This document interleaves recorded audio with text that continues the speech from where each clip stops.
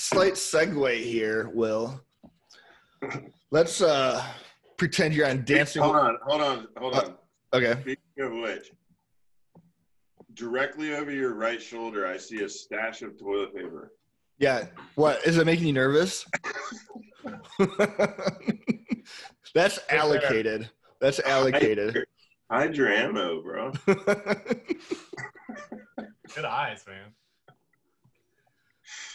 Anyway, so, so, so Will, um, Dancing with the Stars. You're on Dancing with the Stars, and Jon Gruden is a judge.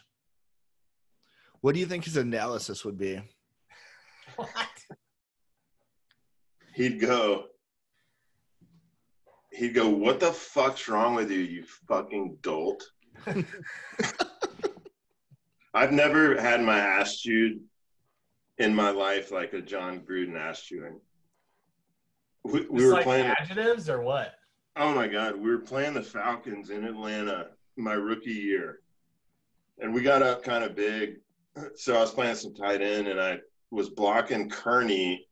I was Oh, down blocking him, and he crossed my face, and I got a holding call.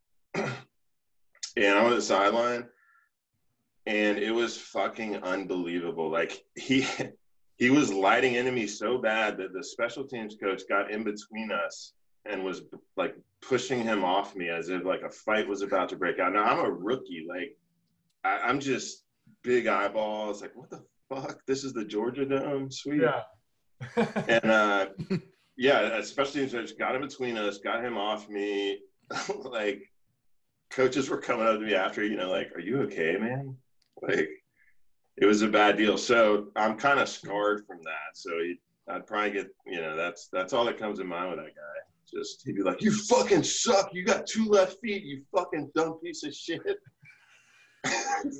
I thought he criti- got to dance, man. Yeah, I thought he, I was gonna say I thought he criticized one of your touchdown dances. He'd be like, "Fuck you, man." fuck you. I'd be like, dude, I'm fucking dancing, Jon. It's on NBC. Like, shut, you know. He's a psycho, but he's real smart. Yeah.